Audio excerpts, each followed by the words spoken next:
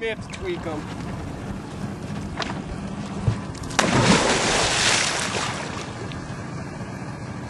Okay.